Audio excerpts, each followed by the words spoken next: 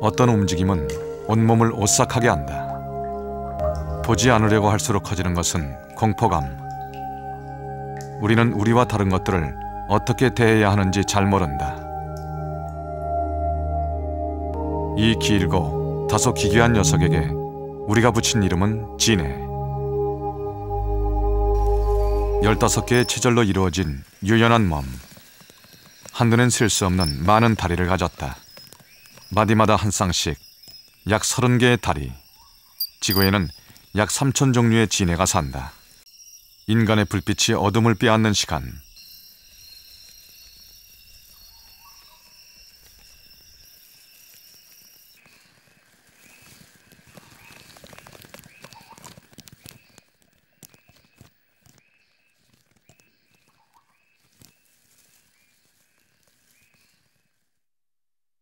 사람이 만든 지형은 진해에겐 낯설다.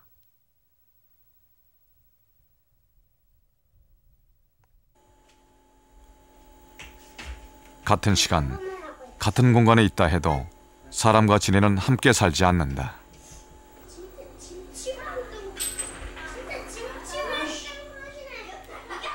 두 개의 생물이 유지하는 평화는 아슬아슬하다. 진해가 살고 있는 또 하나의 공간. 전설 속에서 진해는 수백 년 묵은 괴물이다. 나를 가물게 할 수도 있고 비를 내리는 조화도 부리는 괴물.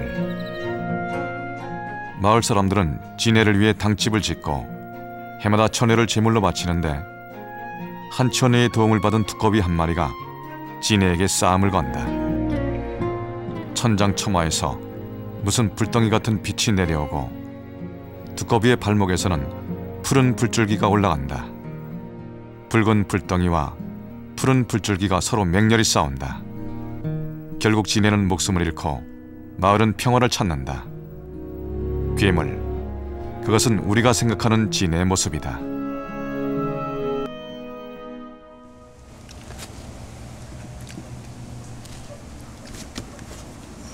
실제로 우리나라 진해는 불과 10 내지 15cm 크기의 절지동물이다.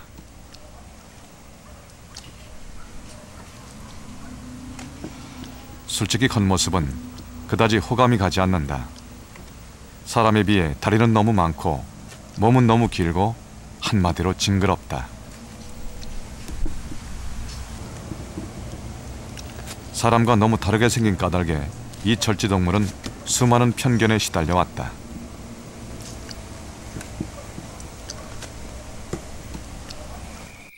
우리가 잠든 사이 어쩌면 한 번쯤은 진해의 방문을 받았을지도 모른다.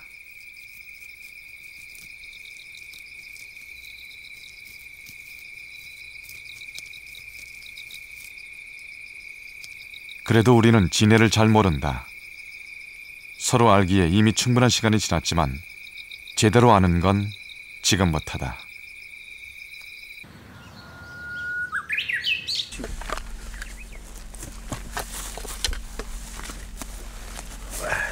어한 마리 있다. 와, 이 자동으로 있네 이거는. 돌 아래 햇볕이 들지 않으면서 축축한 곳. 진해잡이들은 귀신같이 한다. 해안 도서지방이나 충청북도 괴산은 진해가 많기로 유명한 곳.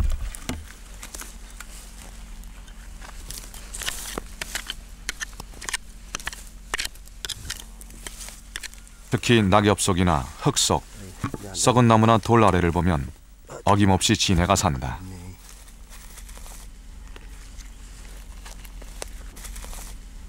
인간과 진해의 역사에서 진해는 일방적으로 희생을 치러왔다. 사실 사람에게 진해는 생물이라기보다는 약이다. 절지동물 중 우리에게 가장 친숙한 것도 그런 이유에서다. 진해는 허리를 다친 데 효염이 있다고 알려져 있다. 현존하는 가장 오래된 한방의학서.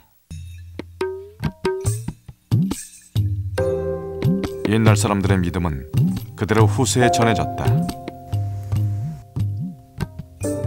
허리를 다치고 23년 동안 산진해를 먹어 효과를 봤다는 최기윤 씨. 물론 과학적으로는 근거가 없다. 죽은 진의 100마리 보다도 산진해 한 마리가 효과가 더 좋습니다. 왜냐하면은 이 산진해는 배 안에 들어갔을 때 그 수음이 넘어가려고 할 때 독을 품어 물거든요. 그 독이 약인데 죽은 진해는 그 독이 없어요. 이런 식으로 유명한 또 하나의 얘기. 이제 어른들한테 듣는 이제 풍월이죠. 밤밭에나 대밭에 이 닭백닭을 여놓으면 진해가 달라든다. 이런 식으로 해서 여놓으면은 진해가 들어간다고 이제 그런 말씀 많이 들어왔죠 어른들한테. 들어가긴 들어가요. 들어가긴 들어가는데 두 마리 세 마리밖에 안 들어가요. 이런데 그거를 단지를 내가 진해를 잡아내고 또 묻어 놓으면은 하루 종일 사이 또 두 마리 세 마리 들어가요. 그러나 두 마리 세 마리 들어가는 그 진해를 열흘 둬도 두 마리 세 마리, 20일 둬도 두 마리 세 마리야. 그 이상하잖아요, 그죠? 이상하지. 하루 이틀 더 놔두면은 더 들어가야 되잖아, 그죠? 진해가 없어가 안 들어가는 게 아니거든. 어른들이 하는 얘기대로 닭배를 넣은 항아리를 묻어봤다. 어, 이제 하나. 한 마리. 어. 들어가긴 들어가는 거야. 항아리 안에 잡힌 진해는 고작 한 마리. 저쪽으로. 한번 보자 뭐. 진해 잡는 데는 닭배가 최고라는 말은 사실이 아니었다. 그러네. 수백 년을 내려온 진해에 관한 상식 하나가 허무하게 깨졌다.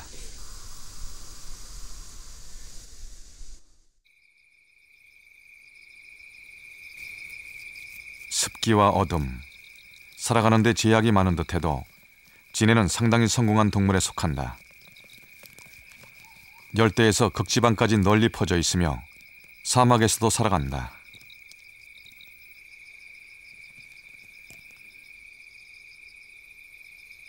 어둠을 틈타 생존하는 동물들. 어둠이 가장 큰 무기인 이들에게 운 좋은 밤이란 없다.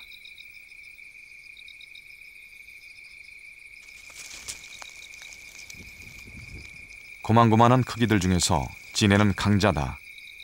털도 많고 먹기 까탈스러운 송충이도 꺼리지 않는 무자비한 육식동물. 사실 인간에겐 농작물의 뿌리를 해치는 곤충을 잡아주는 알고 보면 고마운 동물이다.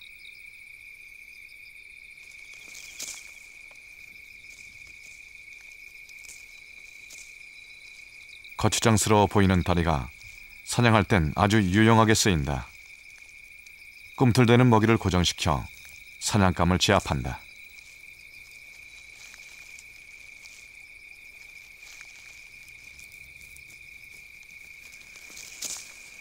좁은 틈이나 흙 알갱이 사이를 헤집고 가는데 진해의 몸은 딱 알 맞다. 여기저기 수색하며 먹이 있는 곳을 찾아내는 것은 더듬이.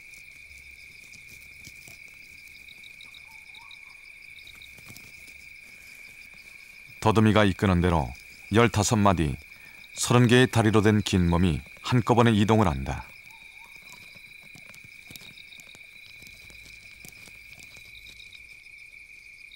더듬이는 한 쌍, 머리 앞부분에 나 있다. 주변의 습도와 온도를 읽는 아주 민감한 부분, 수많은 냄새와 접촉에 관한 정보를 읽을 수 있는 곳이기도 하다.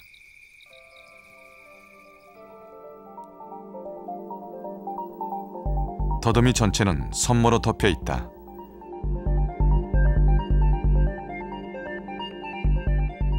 눈과 코, 귀 모든 감각 기관을 더듬이가 담당한다.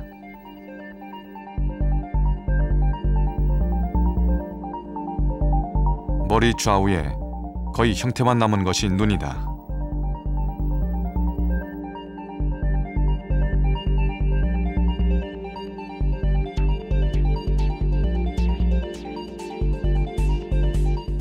혼눈이 모인 원시적 겹눈으로 태화돼 거의 구실을 하지 못한다.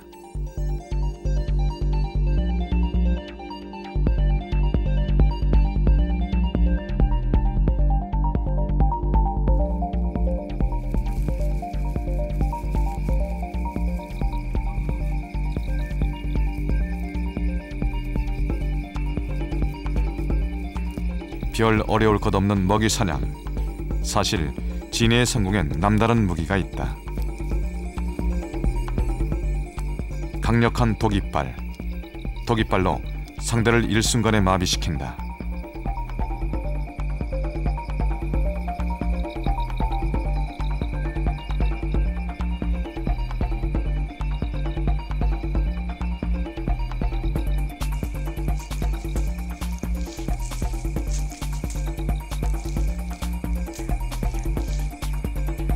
작은 동물이라면 순식간에 마비시킬 만큼 강력한 독성. 독이 있다는 건 생존에 아주 유리한 조건이다.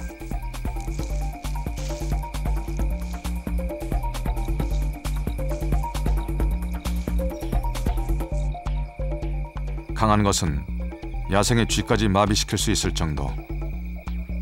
맹렬하게 저항하던 도마뱀이 잠잠해졌다. 독이빨은 제1 앞다리가 변형된 것이다.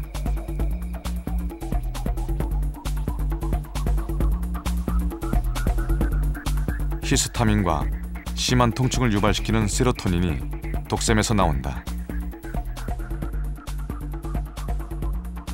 사람이 물리면 빨갛게 부어오르고 통증이 심한 정도지만 도마뱀은 생명을 잃는다.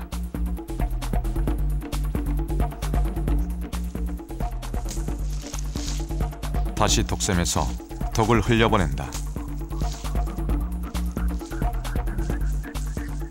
도마뱀은 끝까지 저항을 한다. 죽을 줄 알면서도 끝까지 저항하는 것. 그것은 본능이다.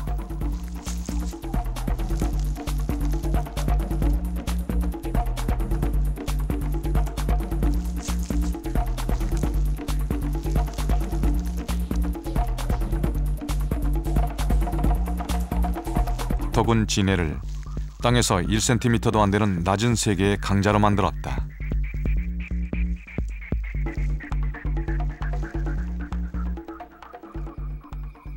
진해는 유일하게 다리를 독이빨로 변형시킨 동물이다. 수많은 다리 중 한 쌍을 독이빨로 진화시켜 약육강식의 세계에서 살아남은 것이다.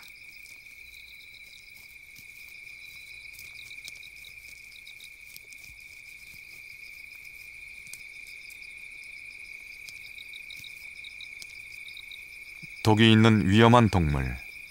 그래서 진해는 해충으로 분류된다. 이것이 인간이 다른 생물종을 이해하는 한계다. 물론 이 녀석에게도 약점이 있다. 곤충과 달리 몸껍질이 전혀 방수가 안 돼 종종 탈수가 된다거나 물에 빠지는 일이 생기는 것이다. 특히 마디마다 한 쌍씩 있는 숨구멍이 물에 차버리면 바로 혼수 상태다. 숨구멍은 평상시에도 이렇게 열려 있다.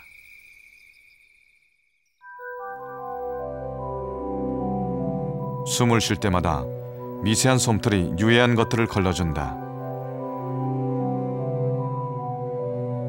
겉보기와는 달리 지네는 늘 쾌적한 상태를 유지하는 동물이다. 전 세계 3천 종류나 되는 진해 중엔 50cm가 넘는 것도 있고 177쌍이나 되는 다리를 가진 녀석들도 있다. 아마 진해 발자국이 찍히지 않는 지구의 겉표면은 없을 것이다.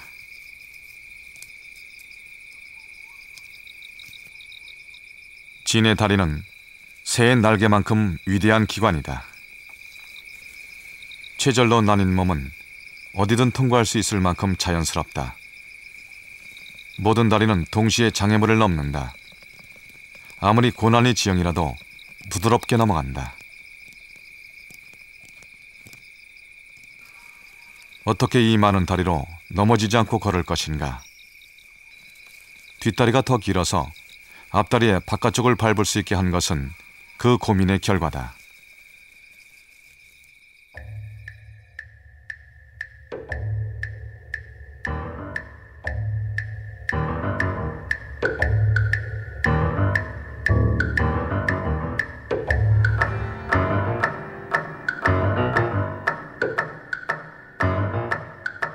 이것으론 충분하지 않다. 이렇게 많은 다리를 어떻게 빠르게 움직일 것인가? 진해는 결코 모든 다리를 한꺼번에 쓰지 않는다. 걷는 모습을 자세히 보면 땅에 딛고 선 다리는 몇 개 되지 않는다. 그리고 어느 한 점을 정해놓고 모든 다리가 차례차례 그 지점을 통과한다.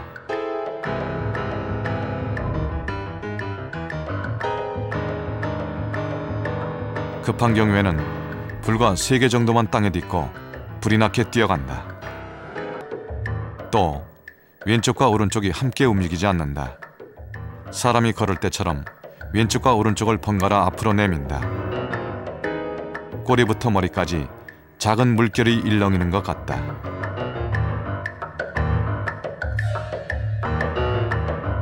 다리가 움직이면서 몸이 꿈틀거리고 물결에 따라 몸을 이동한다. 길고 많은 다리를 가장 효율적으로 움직이는 건 그림하다. 고속기어를 단 것처럼 빠르다. 일명 돈벌레. 10개 이상의 마디에 15쌍의 다리. 독은 없다. 사람들에게 크게 피해를 주지 않지만 혐오감을 일으킨다고 해서 진해와 함께 불쾌 동물로 분류된다.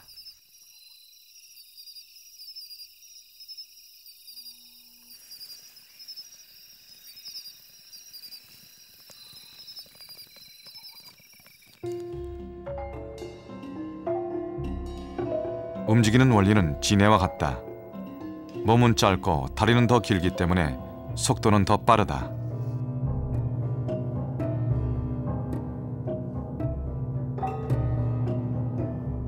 그리마도 뒷다리가 앞다리보다 훨씬 길다. 덕분에 걸을 때 발이 꼬이지 않는다.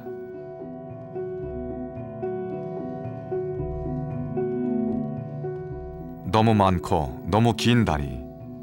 사람들이 이 다리에 관심을 가진 건 아주 최근의 일이다. 바퀴를 극복하는 이동 수단으로 과학자들은 곤충의 다리를 주목한다. 곤충처럼 두 개 이상의 다리를 효율적으로 움직이는 방법을 안다면 그건 혁명일 것이다.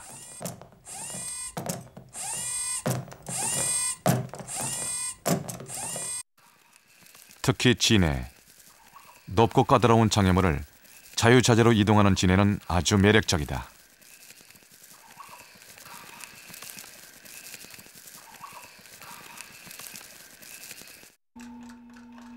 그런 로봇은 지뢰밭이나 불발탄이 깔려있는 군대의 사격장에 들어갈 수도 있다.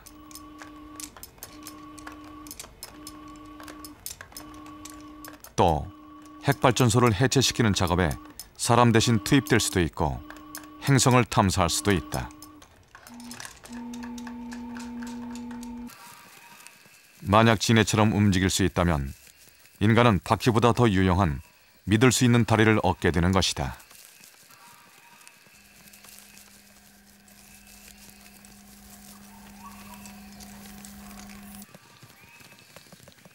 낮은 세계. 이 속에서 날개도 없이 번성할 수 있었던 비결은 몸 전체를 이동 수단으로 만들어버린 다리다. 두 다리와는 다른 식으로 사는 방법을 택한 것이다. 작은 풍경들이 모여 거대한 숲을 만든다. 진해도 그 속의 일부라는 걸 우리는 가끔 잊어버린다. 빛의 세례를 받지 못한 어둡고 차고 으슥한 곳, 진해의 공간이다. 인간이 말하는 아름다움이 여기엔 없다. 그래서인지 우리나라에서 진해는 제대로 연구한 결과가 없다. 어떻게 살고 어떻게 죽는지 무관심한 것이다. 봄부터 여름에 걸친 이 계절에 진해는 알을 낳는다. 노랗고 투명한 알. 15개에서 60개 되는 알을 한꺼번에 낳는다.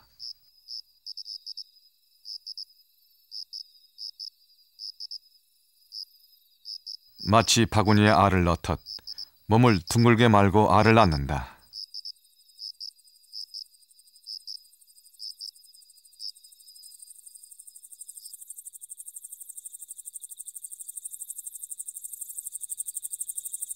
알의 크기는 직경 1mm. 깨알 크기의 알은 노란색으로 반들반들 윤이 난다.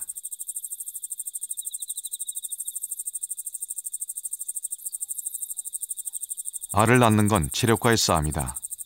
약 30분에 걸쳐 30개 정도의 알을 낳는다. 암컷은 거의 탈진해버렸다. 하지만 더 중요한 일이 남아있다.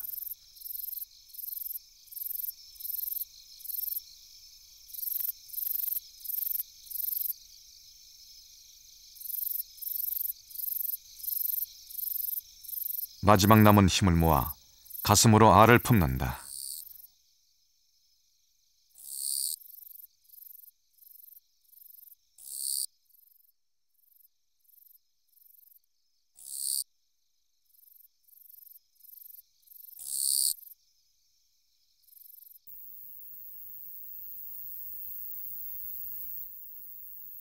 몸을 잔뜩 웅크리고 바깥세선과 등을 진다. 대신 가슴 속에 작은 세계 하나를 안았다. 알이 부화하기까지는 약 한 달이 걸린다.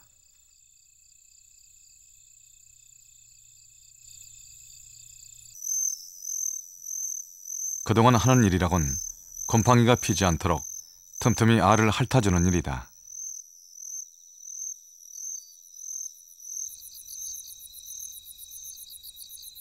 어미는 더 단단히 새끼를 움켜쥔다.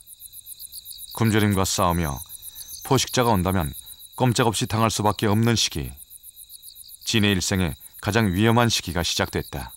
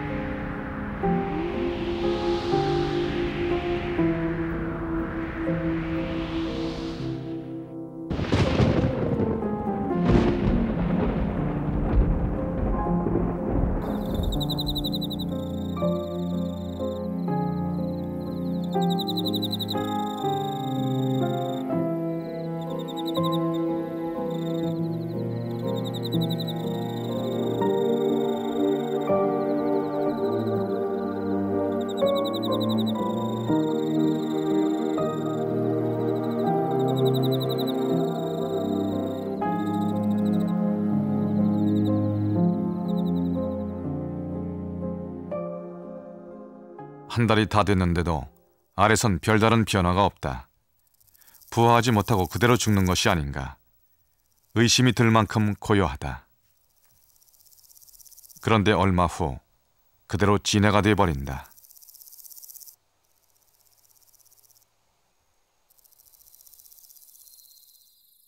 이것이 진해의 부화였다.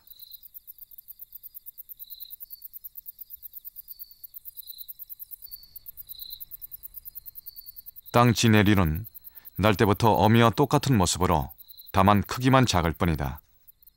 어미처럼 하나의 마디마다 한 쌍의 다리가 있다.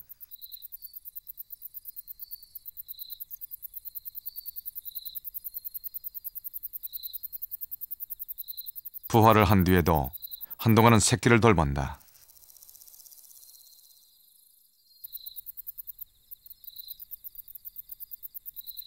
새끼가 독립하여 흩어질 때까지 어린 개체들의 생존율을 높이는 것이다.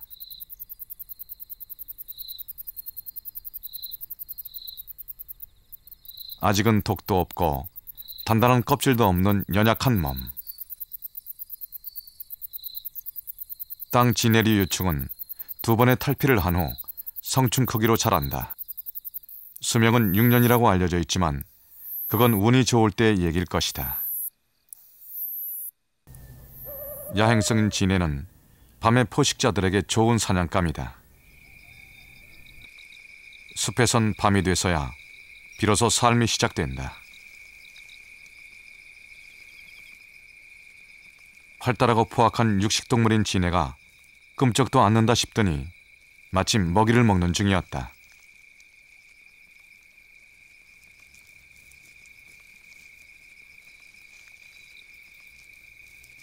독이 통할 것 같지 않은 딱딱한 갑옷을 믿고 진해의 먹이를 탐해보지만 어림없는 시도다.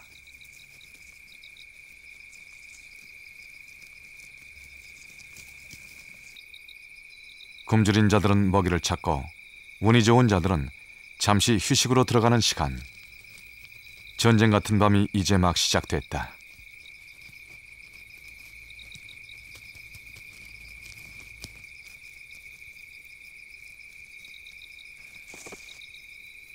거슴도치는 작은 곤충류부터 파충류에 이르기까지 못 먹을 게 없을 정도로 개걸스러운 사냥꾼이다.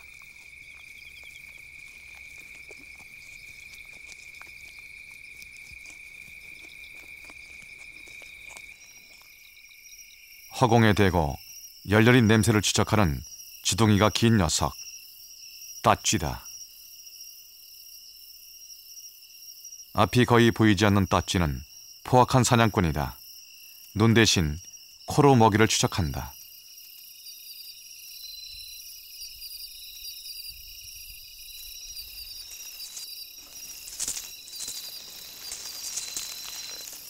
싸움은 요란하다. 상대가 아무리 크고 강해도 목숨이라면 한 번에 내주지 않는다.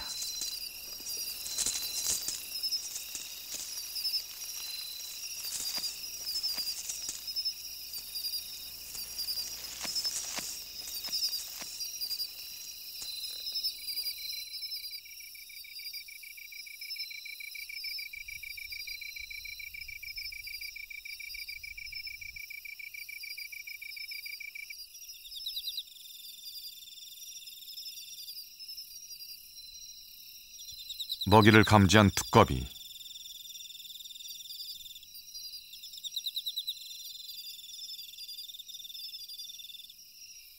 거리와 간격을 가늠해 본다.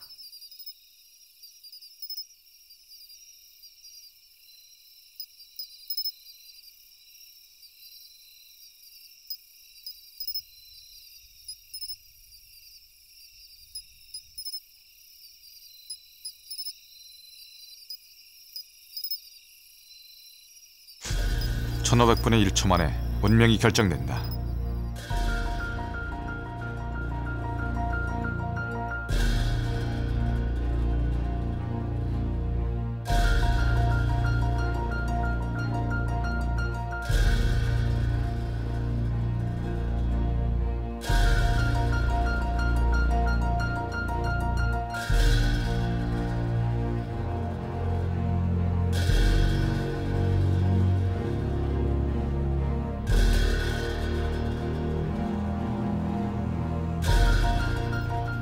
독이 있으면서 긴 다리로 버둥거리는 고약한 먹잇감. 삼키는 건 사냥할 때보다 더 신중하다.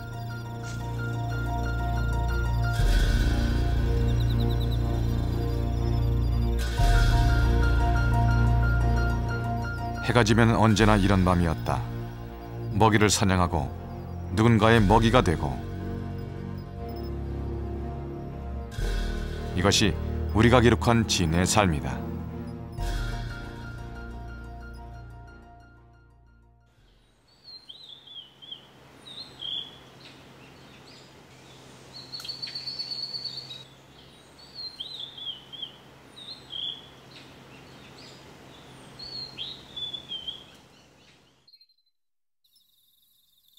찬바람이 불때 진해는 새 몸을 준비한다. 껍질을 벗는다는 건 그동안 자신을 걷었던 한계를 벗는 일이다.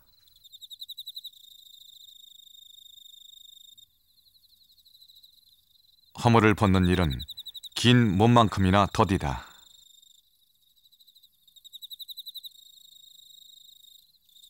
머리부터 서서히 허리를 크게 제치며 나머지 껍질을 밀어낸다. 허물을 다 벗는 데는 24시간, 꼬박 하루가 걸린다.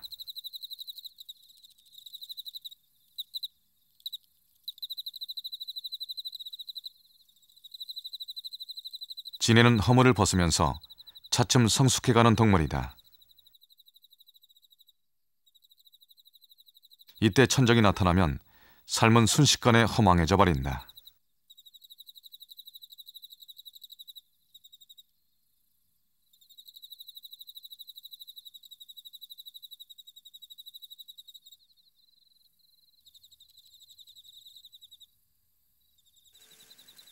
허물을 벗은 진해의 몸에서 새로운 순환이 시작됐다. 갓 태어났을 때처럼 연약한 몸이다.